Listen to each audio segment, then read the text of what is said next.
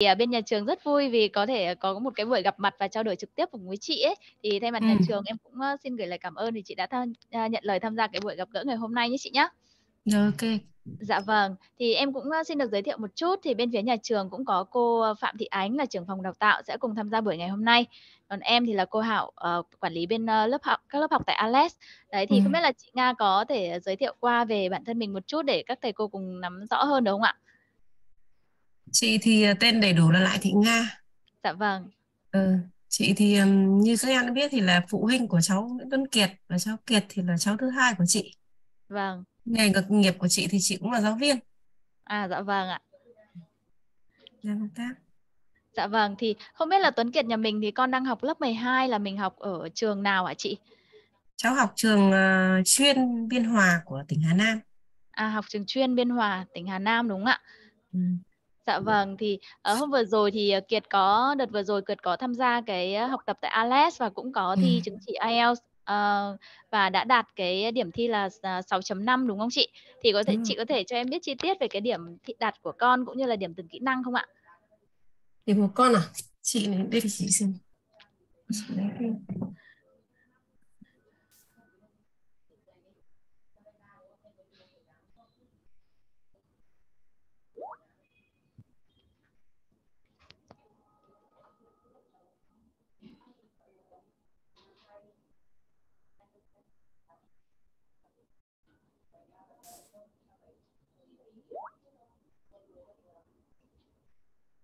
Nghe là 6.5 em ơi. À, dạ vâng, điểm nghe Ừm. của con là 6.5 đúng không ạ? Đọc là 8.0. Ôi, điểm đọc 8.0, dạ vâng ạ. Viết là 6 chấm. Viết 6.0, dạ vâng. Ừm, và nói 5.5. Nói là 5.5. Đấy, và điểm Tổng là của mình 6.5. là Ừm. 6.5 đúng không ạ? Dạ Ừm. vâng. cụ nhà trường cũng rất vinh dự và tự hào là, ờ, khi mà biết được cái thông tin điểm của Kiệt cũng khá là cao, đúng không ạ? Khi mà khi mà đã đi tham gia thi chính thức ở bên Hội đồng Anh, cũng có đạt được cái thành tích, uh, xuất sắc là đạt, ờ, uh, 6.5 IELTS, đúng không chị? Ừ. Dạ vâng, thì bên phía nhà trường cũng có gửi gửi cái lời mời chúc mừng cũng như là chia sẻ cái niềm vui này cùng với mình, cũng như là, à, cùng với Kiệt cũng như là gia đình mình nhé chị nhé. Ừ, ừ. Dạ vâng, thì, à, không biết là ch chị Nga chị có thể chia sẻ cho em biết một chút về cảm xúc của mình khi mà mình nhận được cái thông báo kết quả, à, điểm IELTS của con, ờ, tại Hội đồng Anh không ạ? Ừ, thì, à, trước hết là chị cũng, ơ, xin, a, cám ơn, các em trong Dạ vâng. phòng đào tạo cũng như là các thầy cô giáo trong trung tâm, ờ, đã tạo điều kiện để cho con, theo học, cái chương trình. Thì thực ra như này em ạ, ờ, Dạ cái, vâng. ơ, cái đợt thi của con ấy, thì thực ra cái đợt đấy chị cũng nghĩ là, à, con sẽ thi lần 1 và sẽ có lần 2. Thế nhưng Em nghe rõ không nhỉ? A lô. A lô. Dạ vâng, chị, ờ, bên nhà trường nghe thấy được đấy ạ. Ừ, nghe chưa em? Dạ rồi ạ. Ờ, ừ, thì, ờm, thực ra ấy thì, ờ, cái cái lần thi của con này này, thì, ờ, chị, ờ, chị con và chị cũng xác định, gia đình cũng xác định là, à, cháu thi cái lần này là lần đầu tiên, thì, cũng, cũng chỉ nghĩ cũng cũng chỉ đặt mục tiêu cho con là được khoảng 6 chấm và sẽ có lần thứ hai. Đấy, Ừm. cũng như là cái, ờm, hôm mà, bên trung tâm cũng có là cam kết là con sẽ được từ 6 chấm, đúng không? Khoảng 6 chấm chắc chắn. Thế chị cũng, ờ, con cũng đặt mục tiêu như thế và chị cũng chỉ nghĩ là như vậy thôi, thế nhưng mà cũng rất là vui là con đã được 6.5. Thì chị nghĩ là đấy là lần đầu tiên và cũng con cũng có ý định là thi lần nữa. Thế nhưng mà, à, cái lần đăng ký thứ hai ấy, bạn ấy cơ bản năm nay bạn học lớp 12 nên nó cũng rất là nhìn lịch học của nó rất là là kín. Xong cuối năm bạn ấy cũng có một cái kỳ thi học sinh giỏi của cái môn chuyên nữa. Đâm Ừm. ra nó rất là bận, ừ, thế là học nó cũng không nó cũng không không có thời gian. Thế đến lúc bạn ấy quay ừ, bạn ấy thi xong bạn quay lại bạn đăng ký, ờ, thi đợt 2 ấy, thì chương trình tức là các cái cái hội đồng thi nó full hết lịch rồi, không có. Ừ, mà đến đến mãi tháng 5 à, tháng 5 này thì mới có có, chấm lịch thi, thế thì thôi thì bởi vì là cũng cận cái ngày thi đại học con rồi ấy, là gia đình cũng quyết định thôi con dừng ở đây ừ. Còn, còn chính vì cái đợt mà con, um, bạn ôn thi nên là còn một số buổi cuối cùng với giáo viên nước ngoài thì con cũng xin trung tâm là cho con hoãn lại.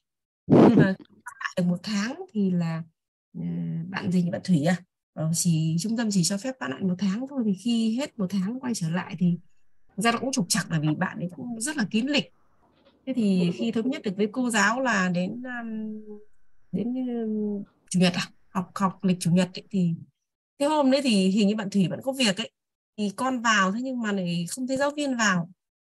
Thì chỉ có nhắn tin với gọi điện với bạn thủy thì, thì không thấy bạn ấy ờ, hồi âm. Thế khi bạn ấy quay lại thì đúng là có sắp lại thì thấy chị nhận thấy tin nhắn bạn ấy nhắn là hôm nay đúng ngày bà bà bạn mất hay cái gì thì bạn không không hồi âm được. Nên là cũng gián đoạn thì thôi chị cũng thôi thì thôi. Bây giờ con kín lịch rồi thì thôi. Con cũng không học nữa kể mà học được thì cũng rất là tốt đấy. Chị cũng muốn nên là chị cũng chia sẻ là cái việc con học với cô cô gì nhỉ? Giáo viên là cô gì nhỉ? Chị quên tên cô giáo viên nhỉ? Cô cô gì nhỉ? Quên không thì bạn cũng rất là thích rất là thích cô. Nên là bạn ở cô dạy cũng dễ hiểu thân thiện. Dạ. còn thầy giáo viên nước ngoài thì thì bạn ấy không thích lắm. Bạn ở à, bạn ấy không thích học với thầy giáo viên nước ngoài. Bạn là con không có thiện cảm mà thầy nói con cũng không thấy ấy lắm. Đấy chia sẻ với em như vậy. Còn à. thực sự cái kết quả này cái kết quả này của con thì gia đình cũng, cũng, cũng rất là hài lòng. Bởi vì cái mục tiêu của, của gia đình cũng như con đặt ra cũng chỉ cần đến 6 chấm thôi. Và có nghĩ nghĩ là nếu mà có 6.5 hoặc hơn nữa thì chắc là phải giai đoạn sau. Nhưng mà thôi lần đầu được cái này thì cũng, cũng dạ rất là vâng. vui. Rất là cảm ơn các em là toàn bộ uh, trung tâm tạo điều kiện dạ vâng à, từ giai đoạn đầu thì con có học uh, với giáo viên Việt là cô Lily đúng không chị Lily đúng rồi. dạ vâng. Ở với cô Lily thì cô có giảng dạy và hướng dẫn hỗ trợ Kiệt trong cái thời gian con học thì thực ra Kiệt thì bạn ấy học tập cũng rất là tốt và ý thức học cũng rất là tốt. Cô cô Lily cũng đánh giá cao. Đấy thì sang giai đoạn học giáo viên nước ngoài thì thời thời điểm ban đầu là bạn ấy học với thầy uh, thầy giáo nước ngoài. Đó. Ừ. Thì uh, hôm vừa rồi thì em cũng có trao đổi với cô Thúy thì là ừ. cái lịch học của Kiệt thì mình sẽ bắt đầu trở lại học uh, lại học từ tuần này được chưa chị? Từ tuần trước chứ đúng không ạ? Chủ nhật tuần trước tuần trước nhưng có thấy gì đâu tuần trước là bạn ấy chưa chưa trở lại học được đúng không ạ ừ, chưa chưa thấy chưa thấy cô cô dạ, thông báo vâng. gì cả thì tuần này là cái lịch nghỉ lễ nghỉ lễ 30 tháng 4 rồi đó thì em nghĩ là cô Thúy cô sẽ sắp xếp để sang tuần sau thì bắt đầu từ tuần sau thì nếu mà Kiệt sắp xếp được lịch thì mình cũng có thể trở lại học cái lịch với giáo viên nước ngoài nhé chị nhé thì bạn ấy ừ. sẽ hoàn thành tiếp cái lộ trình của con đấy ừ. như định hướng của Kiệt thì bạn ấy thi lần đầu đã được uh, 6 6.5 chị muốn cho bạn ấy thi lại lần hai thì mục tiêu của bạn ấy là cao hơn nữa hả chị? Ừ, thì cũng chỉ có mục tiêu là nếu mà nếu được 7 chấm thì tốt quá. dạ vâng. Ừ, thế nhưng mà bạn ấy bảo bạn ấy thấy nó căng lịch quá bạn xong là không đăng ký được ấy nó phun quá cái tháng tư tháng 3 nó phun quá rồi thế là bạn ấy cũng không ấy bảo tháng 5 thì bạn vừa sợ là không có không có thời gian. Nó phân tán vâng. cái học. Vâng, thực ra thì với các uh, lịch thi như em tìm hiểu ấy, hiện tại thì lịch thi trên giấy thì cũng uh, rất là cũng full rồi. Nhưng mà có, có các lịch thi máy nếu mà bạn ấy thi máy được trên máy ấy, thì mình có thể đăng ký. Uh, nếu mà nguyện vọng bạn ấy muốn lên 7 chấm 7.5 thì uh, mình cũng còn một cái khoảng tính ra thì Kiệt em thấy bạn ấy học cũng được khoảng 2 phần 3 lộ trình thôi còn giai đoạn học giáo viên nước ngoài nữa. Đó thì mình cố gắng học và mình có thể đăng ký thi máy ở cái thời điểm tháng sau. Đấy thì cố gắng để mình có thể lên một cái vâng đúng rồi ạ. Tháng 5 thi thi máy thi giấy còn không? Thi giấy thì như em em theo dõi 5. thì là hết lịch thi giấy rồi chị hết ạ. rồi. Ừ. vâng. Thi máy thì bạn lịch thi máy. bạn sợ ừ, bạn lại sợ thi máy. À dạ vâng. Thực bạn ra thì với cái kết quả đánh. vâng nhiều bạn thì các bạn ấy sẽ lo nhất là cái phần thi viết nếu mà thi máy đấy chị ạ ừ, đấy thì bạn ngại như thế Dạ vâng. Thực ra thì với kết quả 6.5 như thế thì em thấy cũng rất là cao rồi so với nhiều bạn mà đang tham gia học ấy. Thì với ừ. với cái tấm bằng 6.5 à, như thế thì à, chị chị Nga đã có định hướng à, sắp tới là con sẽ vào trường đại học nào chưa hả chị? Trường thì nói chung là chị cũng không quan trọng lắm đâu em, thực sự như vậy. Vâng. Bởi vì chị nghĩ là thôi học thì các con học cái gì cũng được, quan trọng là ra sau này nó làm gì do chúng nó thôi thế còn ờ, bây giờ nguyện vọng của con thì nó nó thích uh, kinh tế quốc dân rồi một số trường ấy. đầu tiên cũng thích cả uh, bách khoa rồi nói chung là nhiều lắm nguyện vọng thì thì ước mơ thì cao lắm nhưng mà cũng không quan trọng chị bảo thôi con thích trường nào con cứ đặt từ uh, từ cái nguyện vọng con thích nhất cho đến trường thích nhất cho đến uh, hết. Chúng trường nào thì học. Thế thôi chị cũng không ấy không không, không, không quan trọng lắm. Đấy, còn nhìn chung là bạn ấy đầu tiên thì bạn ấy thích kinh tế quốc dân nhất. Thế bây giờ bây giờ thì bạn ấy thiên thiên sang ờ, bách khoa còn không biết là được trường nào hay không. Đấy là cái nguyện vọng một đấy. Không biết là được trường nào thì chị cũng không rõ. Đại khá như thế. Nói chung bạn kiệt là chị thì học thì nói là là chăm thì không chăm mà say thì không say bình bình thôi Chăm chăm. vẫn lười lắm ừ. Ừ, Đối với Kiệt thì mình bạn ấy có thích ngành nào không hả chị? ngành à Vâng, ngành thì nói chung là bạn ấy cũng cũng, cũng... đấy đầu tiên thì, thì ngành kinh tế xong bây giờ lại sang công nghệ thông tin chỉ hiểu được kinh tế đầu tiên là là chuyên kinh tế, bắt đầu là kinh tế. ừ. Sau bây giờ giờ thì lại là công nghệ thông tin ừ. Ừ. Thế xong là lắm lúc lại bảo nhưng mà con học công nghệ thông tin con thấy cũng, cũng, cũng, cũng sợ áp lực khó ừ. Nhưng mà bạn ấy có điểm mạnh gì không ạ? Điểm mạnh ạ. Điểm mạnh của bạn thì bình thường là bạn ấy điểm mạnh của bạn là gì ạ? nói chung là như chị, kể là chị thì nó cũng chẳng có cái điểm gì mạnh trội đâu nói chung ờ, nó cũng bình bình thôi không có cái gì là là trội lắm đâu cũng Dạ. thích tham gia các cái hoạt động ờ, của trường của ấy lắm nhưng mà nó cũng ở mức bình bình thôi Ừ, dạ vâng. Đá bóng đã biết là thứ các hoạt động là thích rất thích tham gia các hoạt động đấy Tức là cũng rất là ờ, hòa đồng đúng không chị? Tức là mọi hoạt động đều, tham gia. Mọi Ừ, hoạt động này đều tham gia cả chứ Vâng. không phải là nhút nhát chung- hay là hướng nội gì cả đúng không ạ? không nói chung là mạnh mẽ thì cũng không hẳn là mạnh mẽ nhưng mà tham gia nó ở mức độ ờ, chứ cũng không không hẳn là là sôi nổi quá. ừ, không ở Dạ. đấy rất là bình bình Dạ vâng. Ừ. Em nghĩ tính là cái độ tuổi thiện. con dạ vâng độ tuổi các con này chắc là độ tuổi mình sẽ cần phải tham gia nhiều thứ để con ờ, khám phá được bản thân của mình đấy chị ạ. Để khám phá được cái điểm mạnh của con là gì? Nên là ờ, nếu mà để xác định là đúng là bảo là lớp 12 mà xác định điểm mạnh của con cụ thể là gì chưa thì chắc chắn là cũng rất là khó. Ờ, không phải bạn nào cũng có một cái đam mê ngay từ nhỏ và Đúng mình rồi. quyết tâm đến lớn thì mình theo đuổi nó đâu mà với các bạn lớp 12 thì các bạn đang là ở cái độ tuổi mà cần phải xác định mình là ai à, các bạn thích cái môn gì các bạn sẽ cần phải khám phá từng cái khía cạnh mà các bạn tham gia rồi các bạn cảm thấy là hợp cái gì hơn ấy đó Ừ. nên là nên là mình cứ từ từ cho bạn ý còn nếu mà ví dụ như nói chung là bạn này cũng vẫn rất rất trẻ con cũng chưa Dạ, chưa lắm. Ừ. thế à? đấy ừ. dạ vâng thế thì thì đấy mình cái cứ định hướng của bà ấy, bạn ấy nhiều khi nó cũng vẫn thay đổi mà Đấy, đúng rồi, đấy. ừ đấy chưa chưa ấy, vẫn trẻ con dạ vâng và thì chị chị cũng tôn trọng cái quyết định của con thôi chị cũng chỉ định hướng rồi đấy tùy con thôi ừ.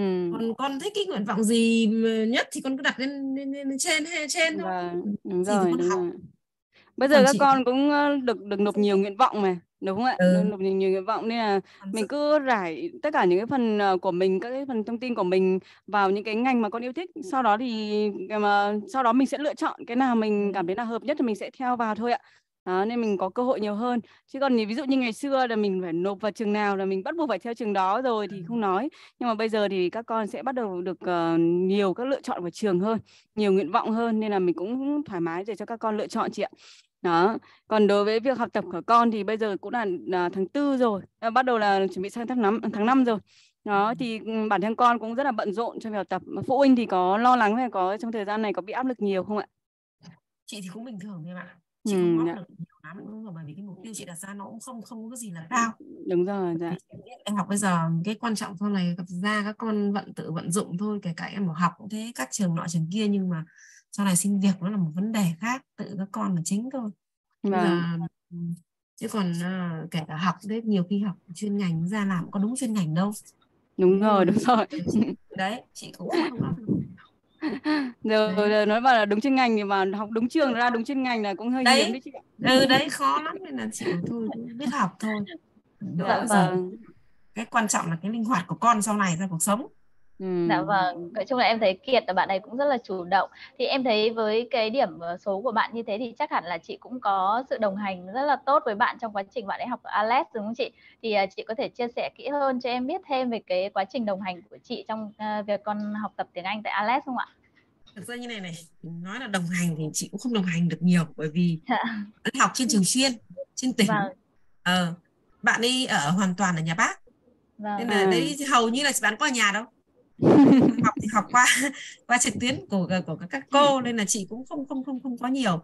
Chỉ có thỉnh thoảng thứ bảy chủ nhật đấy mà bạn ấy về thì là bạn ấy có học ừm, thì chị mới gọi là cũng chỉ nhắc nhở. Đấy nhiều khi như này này thực ra ấy, bạn ấy cái máy tính của bạn ấy bạn ấy nhiều khi bạn cũng cái cái thông tin cập nhật có khi bạn còn chậm hơn cả chị bạn ấy không vào đâu. Nhiều khi là cô để có cái thông tin gì thì cô lại hay nhắn cho chị nhiều hơn.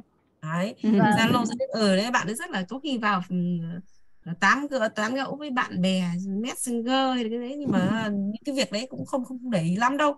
Nhiều khi là ở có những cái thông tin gì ừ, từ phía cô giáo từ phía trung tâm thì chị lại lại lại chỉ nhắn nhắc nhở con thôi chứ còn thực ra đồng hành thì chị không đồng hành gì được nhiều. Dạ vâng, Kể cả thực ra thì như thế là mẹ cũng đang ờ, hỗ trợ và động viên con từ xa đúng không chị? ừ đấy gọi là chỉ cũng ờ, đôi lúc nhắc nhở hỏi thăm con thôi.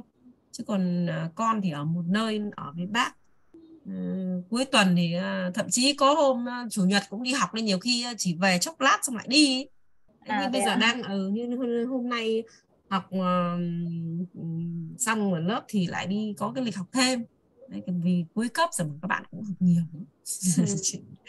ở xa đến đấy nói đồng hành thì gọi chỉ thỉnh thoảng hỏi thăm và động viên con thôi Dạ vâng, mình đang đồng hành Ừ. cho con trên ờ, mặt ờ, tinh thần đúng không ạ? tinh thần viên nhắc đúng rồi chỉ động viên vâng. tinh thần đúng rồi nhắc nhở thôi Dạ vâng. thực ra thì bạn cũng có những hôm vẫn quên lịch học đấy em ạ Ừ, nên là cô giáo vẫn nhắc là chị là phải gọi điện ấy. có khi cái hôm Vâng. đi đá bóng quên cả giờ học luôn ấy.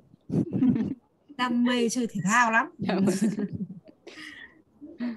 giai đoạn mà nói thật với em là đúng là ờ, cái ý tưởng học IELTS này chị động viên con suốt từ năm lớp 10 đến năm lớp 11 chị có ý tưởng cho con là học IELTS học kể cả học online học trực tiếp trên Phủ Lý cũng có cái trung tâm trung tâm uh, iPac à Ừ. Dạ iPac đấy thì chị thực ra là chị đã đăng ký cho con học ở đấy rồi nhưng mà nó vướng dịch Ừ. Nhưng cái trung tâm đấy họ lại không đào tạo IELTS Đúng mà rồi. họ học theo cái cái gì từng cái spa spa một đấy Ừ.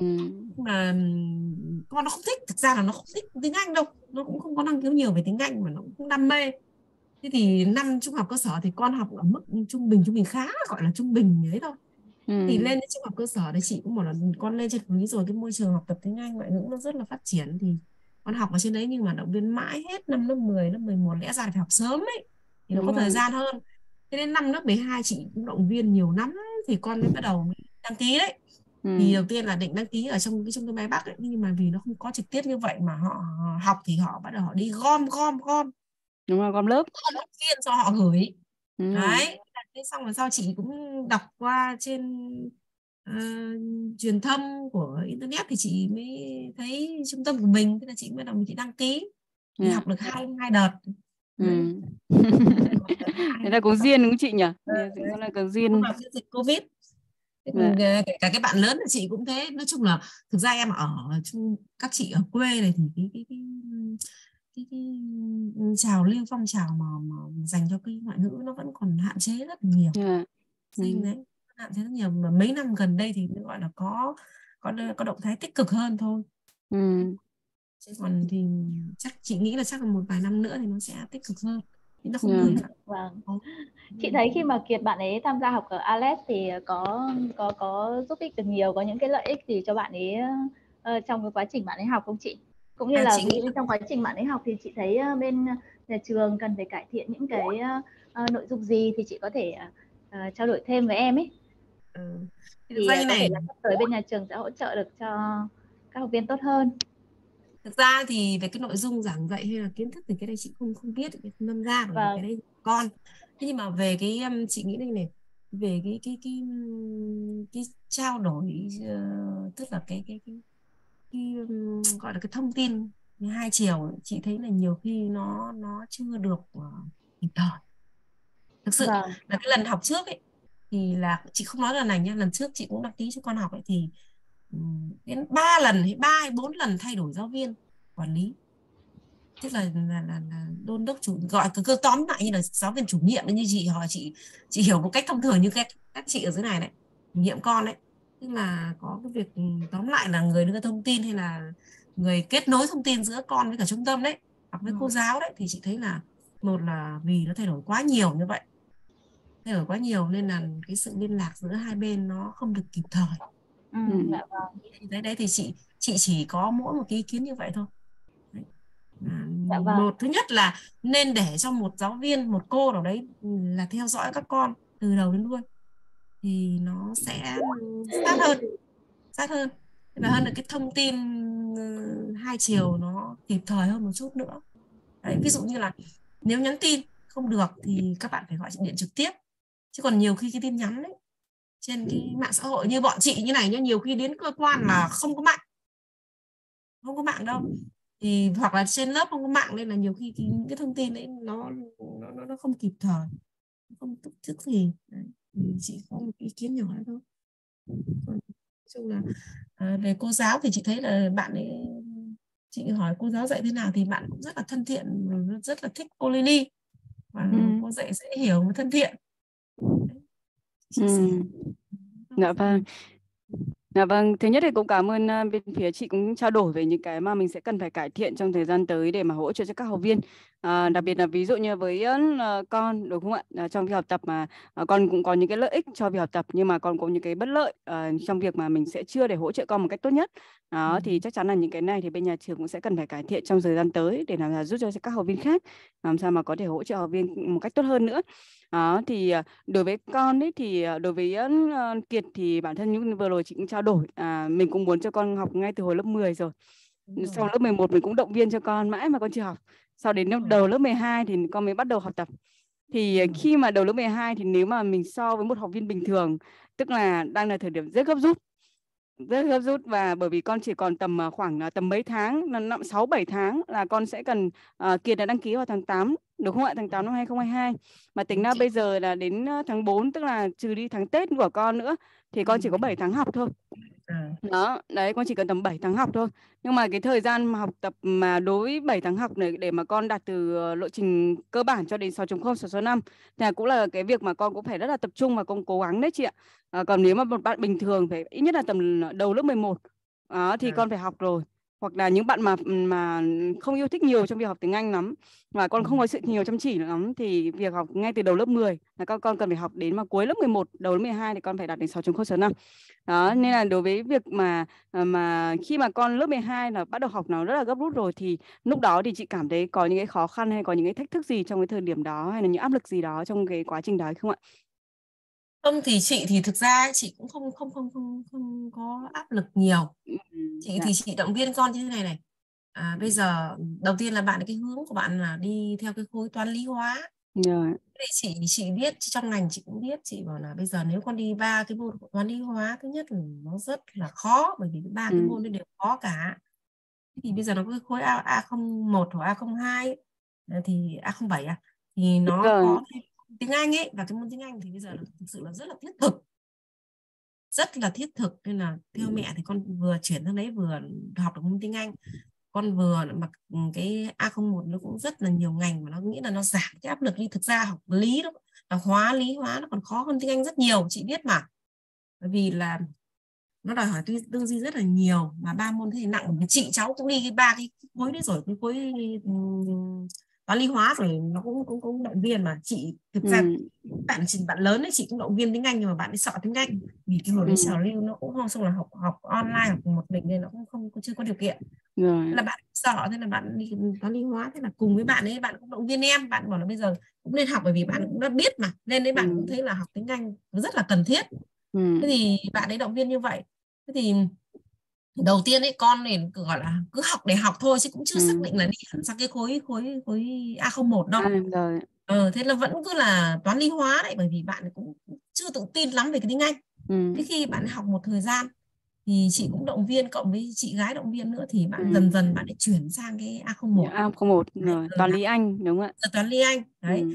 Thế thì nhìn chung là như này thì chị cũng hỏi cô giáo tiếng Anh ở lớp ấy thì um, tôi bảo là bạn ấy học tại khi là chăm thì không chăm. Bạn này ừ. cô chăm thì không chăm. Thế nhưng mà có nghĩa là cái tư duy tiếng Anh hoặc là cái cái cái tố chất của bạn cũng có nên là bạn học không nên nỗi vất vả lắm. Thực ra ừ. bạn học rất là nhàn học nhanh ờ. vẫn học nhanh. Ừ, không nhanh hay không thì chị không biết như này khá là cô giáo tiếng Anh bạn ấy cũng có cái tư duy có cái tố chất. Ờ, cái phần cũng là cái phần, phần, phần nói à yeah. cái phần nói tức là cái nói mà ừ, các cái bài nói mà để để hiểu biết về xã hội để nói thì ý cô nói là cần phải phải phải, phải trau dồi nhiều ừ. thế nhưng mà về cái ừ, ngữ pháp hay cái về cái thì bạn nắm được nhanh hơn rồi đấy.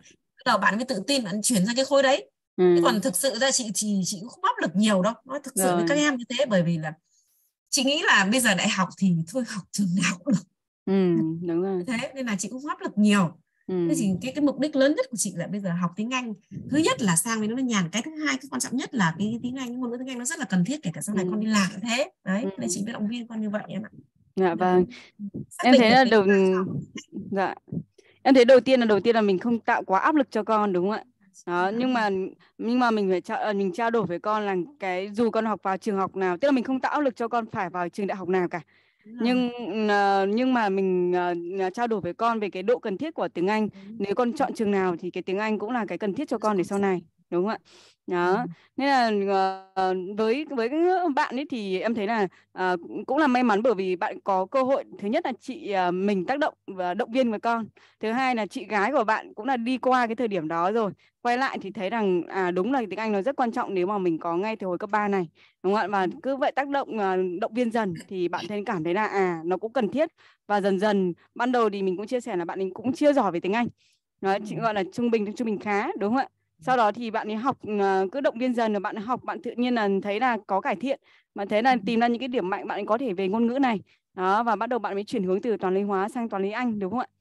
Ừ, dạ vâng. Em thấy là cũng là một cái bước chuyển mà uh, sẽ có bởi vì có nhiều có có những ở học viên LS thì có có hai đối tượng học viên là đối tượng học viên có năng khiếu ngay vì học tiếng Anh rồi. À, khi mà vào học thì sẽ rất là dễ dàng cho việc học và học hòa nhập được luôn.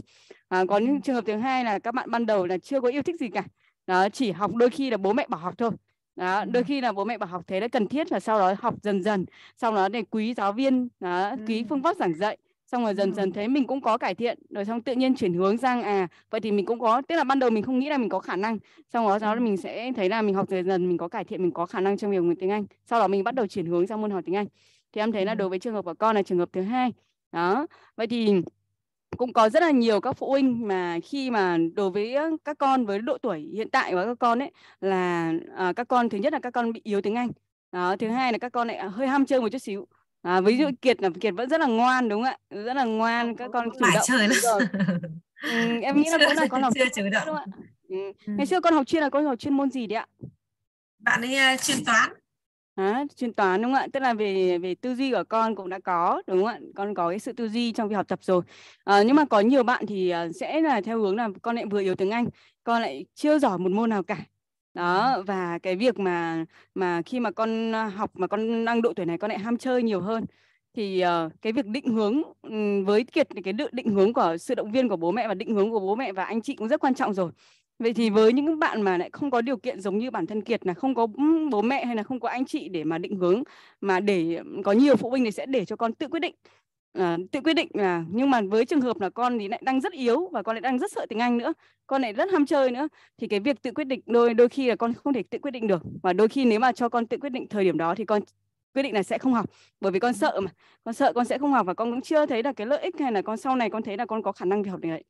Vậy thì nếu mà với một vai trò là một phụ huynh thì không biết là bên phía chị thì có thể ờ, đưa ra một số lời khuyên dành cho những phụ huynh mà đang có con, đang gặp phải những trường hợp mà tương tự là con đang học yếu và con đang ham chơi con chưa có định hướng con đang sợ hãi trong việc học tiếng Anh và chưa có khả năng trong nghĩ rằng chưa có khả năng nhưng mà phụ huynh thì lại ờ, để cho con uh, cho con tự quyết định thì mình có những lời khuyên này nào cho cái việc đồng hành và động viên con để mà các phụ huynh có thể hỗ trợ con được nhiều hơn chị chia sẻ để có thể giúp cho bên phía phụ huynh chị nhé.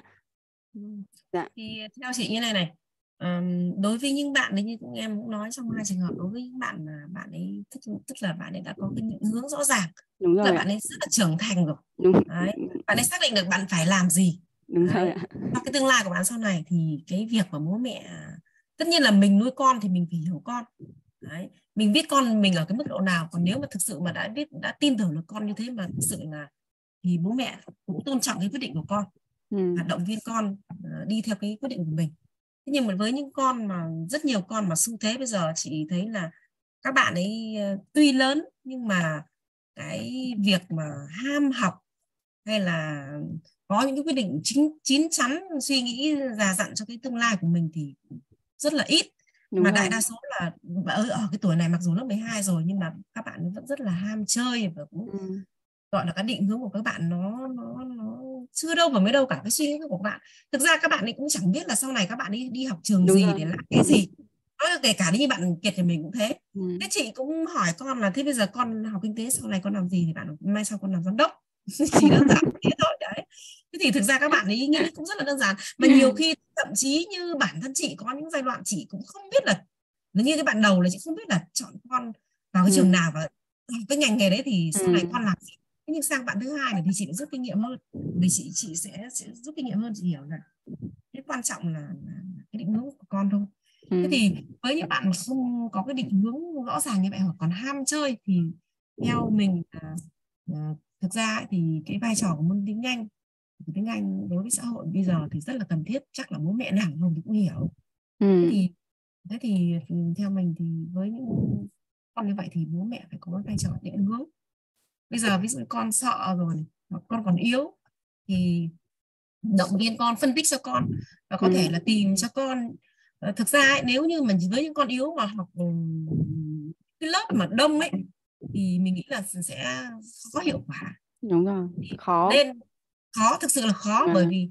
và khi mà đã, đã đã con đã thấy khó rồi thì con lại càng làm thì theo mình thì là các bậc phụ huynh có thể tìm đến một số các cái trung tâm ví dụ như trung tâm trung tâm của mình chẳng hạn có thể là học với giáo viên một một và cũng rất là là rất là là thuận lợi bởi vì khi con học với một giáo viên nào đấy mà uh, con không không không không thân thiện tức là con cảm thấy là cô giáo đấy dạy không ừ. được thì con có có quyền có quyền đúng không có quyền đúng rồi ừ. uh, báo với trung tâm và có thể là ừ. lựa chọn giáo viên khác thì ừ. chị nghĩ là các bậc phụ huynh cũng phải nên đầu tư và động viên cho con cũng giống như mình thôi đấy đầu tiên là con cũng không thích không ham ừ. thì sau một thời gian do cái mình cũng tạo điều kiện cho con cũng động viên con và rất may là gặp cô giáo thì con cảm thấy cô thân thiện và con dần dần con hiểu bài thì con ừ. sẽ sẽ có những cố gắng và thành tích yeah. Dạ. đạt được thì cũng thực sự là cũng ngoài mong đợi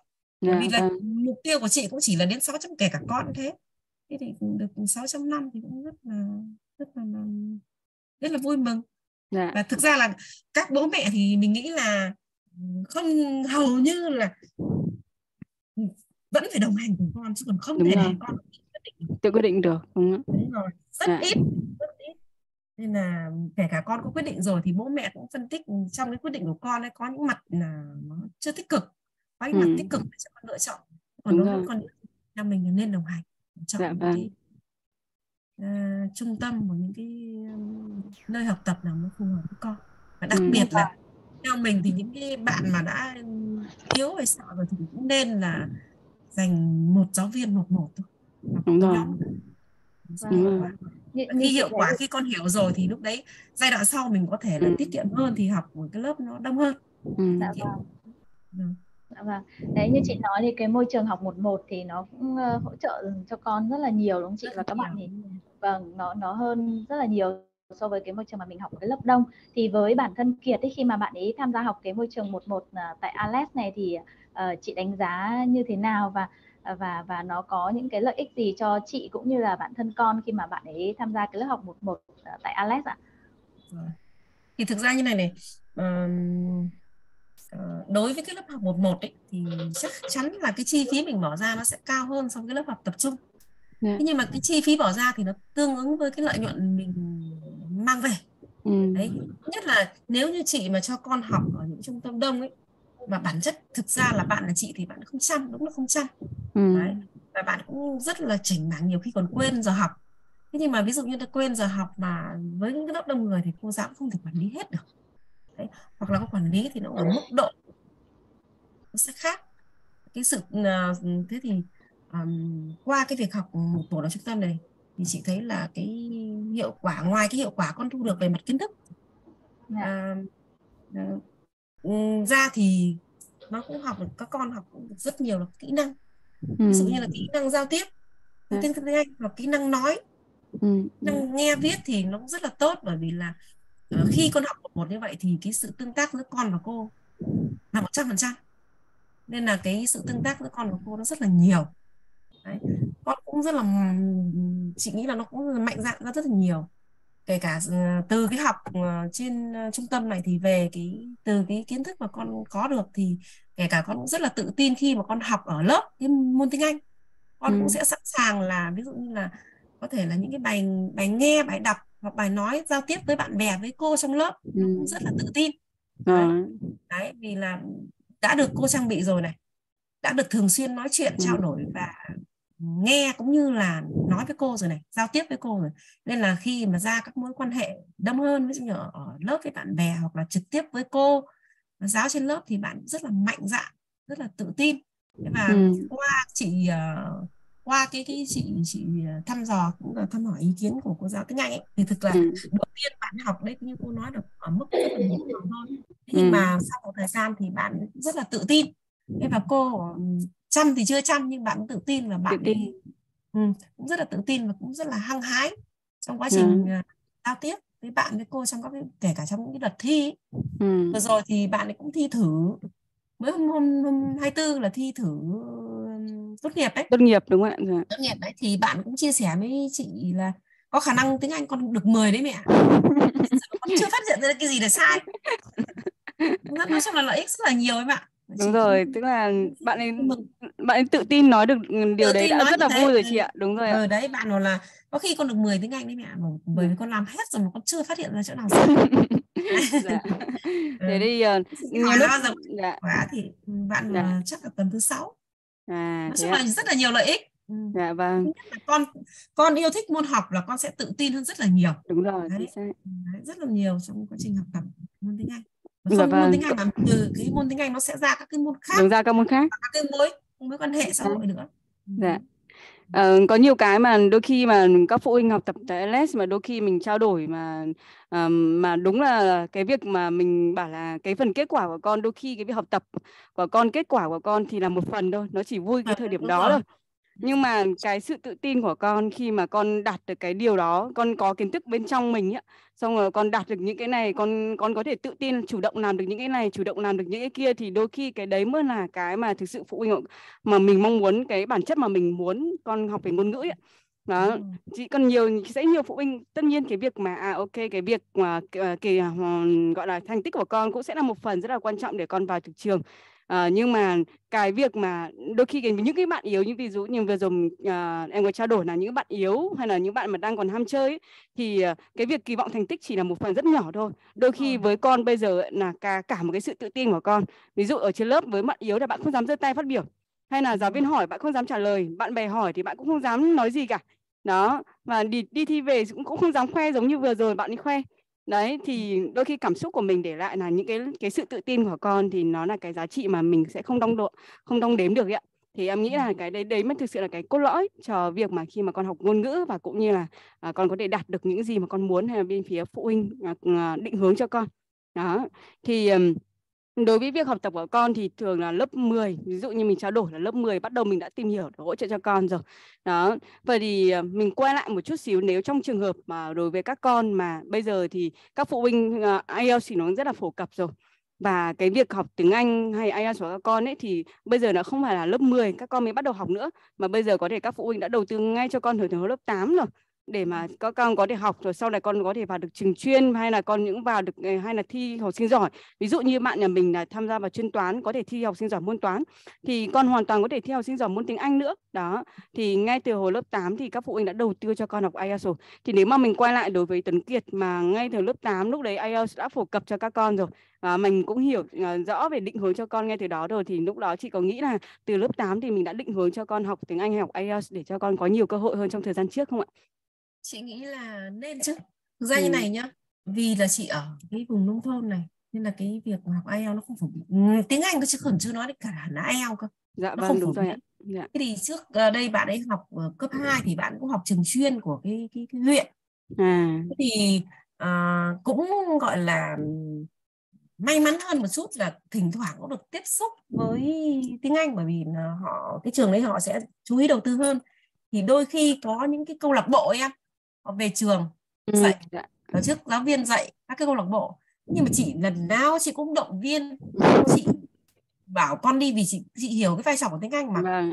thế nhưng mà con không tham gia Ừ. em ạ cấp 2 không hề tham gia cái Không. câu lạc bộ nào chị đăng ký rồi cũng không đi Ừ. đang cái tuổi tám chín rất là Đúng rồi. nhá nói Đúng không rồi. nghe nhưng mà Ừ. bắt con thì bây giờ con bảo là học con đã không thích thì mẹ đừng bắt con học rồi Ừ. con học những cái môn kia đã vất vả rồi đã làm gì thế là thôi chịu nhá Thế là thực ra là ngay từ cấp 2 nó đã có các câu lạc bộ từ lớp 6, lớp 7, lớp 8 thì Ừ. năm nào nhà trường cũng tổ chức các câu lạc bộ họ về đấy Dạ. họ cho học sinh đăng ký sau đó là đăng ký tham gia và họ tổ chức thì nó học chủ yếu là học chơi chơi học thôi Ừ, đấy, dạ. cũng rất là nhiều cái tức là nó có tiếp xúc với cả giáo viên nước ngoài Dạ.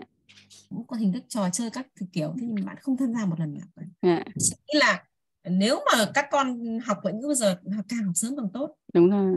Dạ. Như vậy. Bởi vì thực ra bây giờ ở nông thôn ấy thì như các chị bây giờ thì nó cũng một số phụ huynh họ cũng nhận thức cũng, cũng khá là sớm. Ngay Ừ. có những bạn bây giờ nhá mới có đi lớp mẫu giáo. Lớp mẫu giáo mà cũng đã đăng ký học tiếng Đã, Anh đã rồi học rồi, đúng rồi. đã học rồi. Đấy kể cả nông thôn bây giờ nhá. Ừ, có dạ. một tháng đấy cũng có vẫn học tiếng Anh. Hoặc là từ lớp 1, lớp 2, lớp 3 vẫn học bình thường Ừ. đấy nói chung là học không phải là lớp 1, lớp 2, lớp 3 thì nó vào chương trình rồi không nói nhưng mà ngoài ra thì còn có cái, cái, cái, cái trung tâm ấy Đúng rồi, hoặc đúng các rồi. trường mầm non tư thục ấy họ vẫn Ừ. mời cả đấy cả Dạ. giáo viên tiếng Anh nước ngoài thôi về Dạ. dạy con đấy thì chị nghĩ là hoán lên Dạ Đấy. vâng. Và học sớm thì bởi vì bởi vì chị nghĩ là ngôn ngữ học sớm thì nó cũng sẽ thuận lợi hơn rất nhiều Ừ, dạ vâng. Thật ra thì lúc này như mình trao đổi à, mình mong muốn là cho con à, mình kỳ vọng là cho con thi một lần nữa được 7.0 đúng không ạ? Thì à, mình tính ra là bởi vì cái thời điểm bây giờ nó lại rất là gấp rút và con đang áp lực trong việc thi ở trên trường, ôn thi trên trường rất là nhiều môn. Sau đó là cái thời gian mà đến sát ngày thi thì lại rất nhiều người đăng ký thi nữa. Nên là lịch thi đã bị, bị full hết. Đó. Và cái việc mà để mà mình đăng ký lại cũng sẽ hơi khó. Nhưng mà nếu mà con ngay từ lớp 10 nếu con mà học tiếng Anh giống như mình à, mình chia sẻ với con mà con quyết tâm học trong thời điểm lớp 10 thì có thể là đến lớp 11 là con đã có xong 6.5 rồi đúng không ạ? sau đó thì từ từ lớp 11 cho đến cuối lớp 11 và đầu lớp 12 con chỉ tập trung là nâng nâng ben thôi à, lên 7.0 7.5 thôi. Thì thời gian nó lại gì nó nhẹ nhàng. đúng rồi. mà mình cái mong muốn của mình nó cứ đi lên cứ đi lên dần thì như thế sẽ dễ dàng và cơ hội của mình cứ dần dần nó nâng lên. Đó Đúng thế nên là vừa rồi thực ra là cái việc mà chị vẫn mong muốn là con vẫn mong muốn là lên nữa đấy đúng không? Nhưng mà cái thời gian nó lại không còn nữa. Nó lại bị full quá và đôi khi lại như thế thì lại đôi khi lại mình muốn nhiều quá thì trong cái thời điểm mà không có thời gian thì lại bị đôi khi lại phản tác dụng. Nên là à, nên là Ừ. trong cái việc này trong cái thời điểm này thì mình cũng tập trung cho con là ok vậy được được 6.5 thì cũng là rất là tốt cho con để con nộp vào các trường rồi đó vậy thì đấy là cái việc mà cái lợi ích và nếu mà mình có thời gian đôi khi cái việc học IELTS sớm hơn thì nó là cái thời gian để à, hay là học tiếng Anh sớm hơn để cho con có, có thời gian để con dần dần con phát triển và mình có những mục tiêu cao dần hơn nữa. Để khi mà con mình muốn cái điều gì thì đến thời điểm đấy mình mình có thể hơn. đáp ứng đúng không mình có thể đáp ứng được cái điều kiện đấy hơn. Thì đó, đúng rồi thì khó nhất là cái thời gian của con là mình không thể mua được thời gian mà không mua được thời đấy gian mình không thể chính vì dài. bạn ấy như thế nên là nó hơi gấp rút và cũng hơi tiếc thực sự là dạ tiếc vâng đúng rồi đấy nếu mà học sớm thì thì đúng là cái cơ hội lên chị nghĩ là lên 7 chấm thì chắc chắn là sẽ có bởi vì đã lần đầu đã được 6.5 thì bạn học sớm thì chắc chắn là sẽ cái cơ hội lên 7 chấm hay là 7 chấm kể cả thậm chí lên 7.5 Đúng nếu bạn rồi. ấy phấn đấu Dạ vâng. Có một gian. ờ, dạ vâng. Vừa rồi thì ờ, bên nhà trường cũng ờ, gửi ờ, các cái phần ờ, với chương trình quà tặng với cũng như là phần bằng khen á, dành cho tất cả các học viên đạt ờ, chứng chỉ từ 6.5 trở lên á. Đó Ừ. thì ờ, trong đợt vừa rồi cũng rất là nhiều học viên thì có thể đạt cái chứng chỉ đó. Thì trong đó cũng có một bạn cũng lớp 12 giống như Kiệt vậy. Đó, và bạn ấy ở bên phía Cao Bằng, ở trường ở bên tỉnh Cao Bằng thì ờ, bạn ấy cũng học sớm hơn, sớm hơn thời điểm của con thì ờ, vừa rồi con đạt thì con ờ, đạt được cái chính trị là ừm, 7.0 à 7.5 đó Ừ. con đạt được 7.5 đó thì ờ, cái cái việc học tập của con nó sẽ được sớm hơn. Nên là cái thời điểm của con nó tăng tốc thì nó sẽ cái thời gian tăng tốc của con sẽ dài hơn để con có cái kịp cái cơ hội. Đúng rồi con kịp cơ hội con học tập nhiều hơn. Đối với ờ, Kiệt thì là cái thời gian của con bị gấp rút thôi chứ không phải là do cái khả năng của con chỉ đạt 6.5 cái thời điểm của con gấp rút rồi nên là trong cái thời điểm tới khi mà con bắt đầu lên đại học thì mình vẫn hướng dần cho con lên nữa chị nhé đó À. để mà cho con có thể đạt những 7.0 7.5 để sau này thì con khi mà con vào trường đại học thì con sẽ được miễn các thi miễn thi các môn tiếng Anh ờ, các học phần tiếng Anh mà. Ờ, nếu mà con được 6.5 thì con sẽ không cần phải học môn tiếng Anh ở trên trường đại học của con nữa.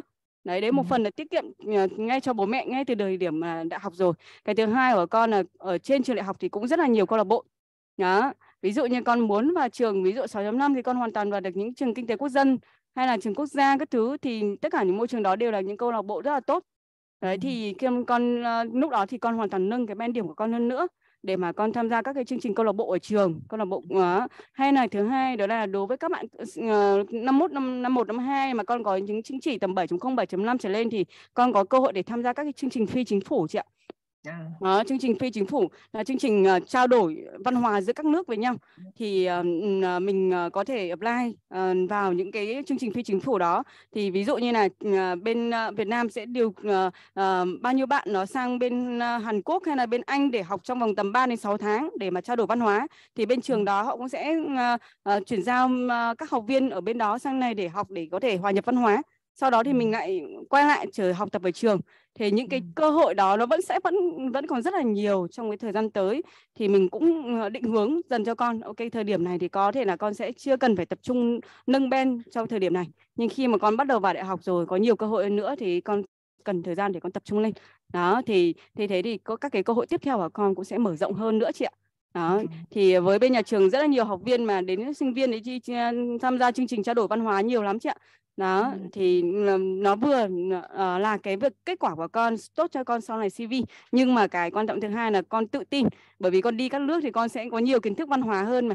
Đấy tự nhiên con tự tin hơn rất là nhiều. Đấy thì những cái đấy là những cái giá trị mà mình có thể uh, đo được bằng những cái cảm xúc và những cái sự tự hào của con và cũng như là những cái kết quả của con chị ạ đó thì đấy là những cái phần mà hôm nay thì bên nhà trường cũng dành thời gian à, à, à cũng trao đổi bên phía phụ huynh và cũng phía phụ huynh cũng rất là à, trân quý cái thời gian của mình có thể dành cho bên phía nhà trường à, về các cái phần học tập của con và cũng như là chia sẻ về những cái cái suy nghĩ cho việc học tập của con. Chắc chắn là với những phụ huynh mà đôi khi họ uh, tham gia họ nghe được những cái phần chia sẻ của chị chắc chắn là họ cũng sẽ có những cái phần cởi mở có những phần tư duy thay đổi khác về trong việc định hướng và đồng hành cùng con đấy ạ ví dụ như lúc nãy khi em trao đổi đấy có nhiều phụ huynh là độ tuổi này bảo là à chị không bảo được con đúng không ạ chị cũng bảo được con và thôi ừ, để nó quyết định ờ, sau này nó quyết định cái việc học tập của nó.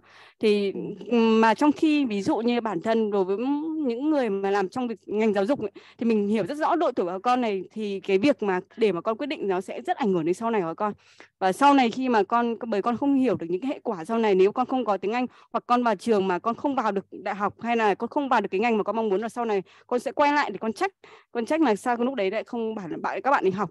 Thì có rất là nhiều các vấn đề kiểu như thế mà mà phụ huynh à, đôi khi để cho con tự quyết định là rất khó. Và thứ hai đó là ví dụ như vừa rồi em thấy chị chia sẻ thì em thấy thực sự là em thấy là chị chia sẻ rất là rành mạch. Tất cả những cái phần mà chị chia sẻ các ý kiến của chị ấy, thì đều là những cái phần mà mình đã suy nghĩ cho con rồi. Mình cũng biết là thời điểm này con cần phải tập trung điều gì mình cũng định hướng cho con ngay từ hồi như mình chia sẻ ngay từ hồi cấp 2 mình đã định hướng cho con các câu lạc bộ rồi đó à, không phải đến tự à, thời điểm đó mà con học đâu mà nó là cả một quá trình mà mình động viên con hàng ngày và hàng khối. Cứ hàng năm là mình đều động viên con đúng rồi. Sau đó thì con dần cũng động viên cái tiếng Anh đấy. Ừ. đúng rồi. sau đó cái kiến thức về hiểu biết liên quan đến việc mà con phải học thì nó càng lớn hơn trong con và đến thời điểm mà con cần phải quyết định trong việc học tập thì em thấy là là cái sự đồng hành của chị như chị trao đổi là chị đồng hành từ xa đúng không ạ? Là con học ở trường ở nhà chuyên từ xa nhưng mà thực ra thì cái quá trình đồng hành của chị là gần như là lúc nào cũng là đồng hành rồi. Lúc nào cũng là động viên lúc nào cũng là khuyến khích lúc nào cũng là định hướng. Đó thì em thấy bây giờ chị là... hỏi là thế bây giờ con sang cái khối A01 thì đã thấy thế nào? Thì được rồi. Thế nghĩa là quyết định là đúng đắn rồi đấy đôi khi động viên đã dạ, cũng phải kiên trì lắm đấy chứ ừ, ừ. bạn cũng cái tuổi mà cái tuổi của các bạn bây giờ rất là là là, là nó dở dở răng rang là khó nó rất là muốn khẳng lắm. định mình nhưng mà đúng cái rồi. khẳng định của mình nó chưa chín chắn chưa đúng chưa, đúng rồi chưa, chưa đúng chắn. chưa đúng rồi chín chắn ừ, nó chỉ theo ừ. nhiều khi nó theo trào lưu bạn bè rồi các thứ Đấy, Đôi tuổi các con thì các con à, đang muốn được ghi nhận muốn được thể hiện đấy nếu là nếu độ tuổi rất con khẳng định mình ừ. nhiều khi nó chưa được được chín chắn nó chưa được đúng đắn. Dạ vâng đúng rồi. dạ vâng ạ. Đó. Vậy thì uh, đấy là tôn trọng các bạn đấy các em ạ? Vâng. Cũng là khéo ấy chị nhỉ? đấy, cũng là ờ, khéo đúng không ạ? phải không ấy lắm cũng dạ. nói chung là phải kiên trì.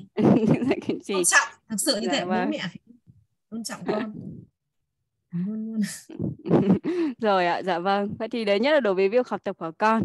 Thì uh, bên phía cô Hà thì cũng sẽ có những phần trao đổi để làm sao mà có thể uh, trong thời gian tới thì uh, thì đối với học tập của con thì uh, trong cái việc mà xét ngành hay là xét uh, học bạ cụ thể là con vào trường nào thì uh, bên phía cô Hảo chị cũng có thể trao đổi bên phía cô Hảo chị nhé ví dụ như là con học vào ngành nào khối xét tuyển học bạ của con là bao nhiêu cụ thể nên vào uh, nên nên xét tuyển như thế nào thì chị có thể hỏi bên phía cô Hảo cô Thúy.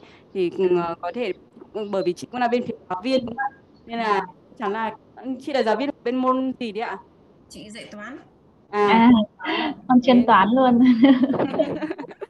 đấy thì em nghĩ là trong thời gian tới nếu mà có cái phần xét tuyển cụ thể như nào hay là các cái phần thông tin của trường mà con đang định vào chị đó, có những thông tin gì mới thì thực ra là trong ngành thì uh, sẽ có những cái cập nhật thông tin nhanh hơn ấy. thì uh, chị có thể bên phía cô Thúy và cô Hảo cũng sẽ hỗ trợ trong phần này để mà cho con được vào trường nó thuận lợi hơn đó và khi mà con vào trường mong muốn thì mong chị cũng chia sẻ uh, với bên nhà trường để bên nhà trường có thể chung vui cùng với bạn với gia đình nhé chị nhé. Ok. Dạ. Dạ. dạ. À, trong thời gian tới nếu mà bạn ấy đang có dự định nộp uh, hồ sơ vào trường đại học nào mà uh, cần tìm hiểu thêm những cái thông tin gì của các trường ấy thì uh, khi mà bạn ấy xác định được các cái trường mình tham gia rồi thì chị có thì thì mình có thể em có thể hỗ trợ thêm thì uh, chị cứ báo con là mình uh, còn thắc mắc gì thì có thể uh, trao đổi thêm với em hoặc là cô Thúy thì uh, em và cô Thúy sẽ hỗ trợ thêm cho con về phần này nhé chị nhé. Ok, cái chị xin cái số điện thoại của em. Nếu à, liên dạ lạc vâng. Không được thì chị lại liên lạc với em. dạ vâng được ạ. Thế chị lưu số cá nhân của em nhé để lát, lát, lát em sẽ gửi cho chị luôn. Ừ, tí nữa gửi qua zalo chị nhá. Dạ vâng ạ. Nhá thế cảm ơn hai em nhá. À, dạ vâng à, đấy. chúc uh, hai em uh, thứ nhất là luôn luôn mạnh khỏe. Thứ hai là công việc ngày càng tốt lên. Uh, chúc uh, trung tâm mình ngày càng phát triển. Dạ. cảm ơn chị rất là nhiều dạ. okay. vâng em cảm ơn chị hôm nay cũng rồi. dành thời gian mình ờ, ngồi tham gia cái buổi ờ, trò chuyện này cùng với các thầy cô bên trường rồi. dạ vâng thì um,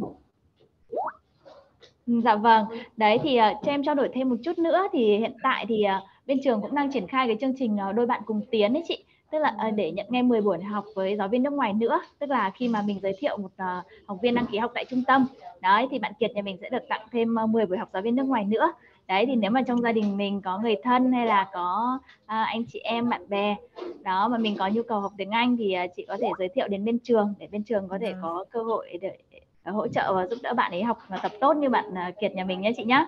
Rồi ok. Dạ. Có thì chị sẽ giới thiệu nhé. Dạ, dạ vâng. Cảm ơn chị rất nhiều vì ngày hôm nay. Cảm ơn chị rất là nhiều ạ. Dạ vâng, ừ, em xin phép ạ. Dạ. Vâng, rồi em chào chị.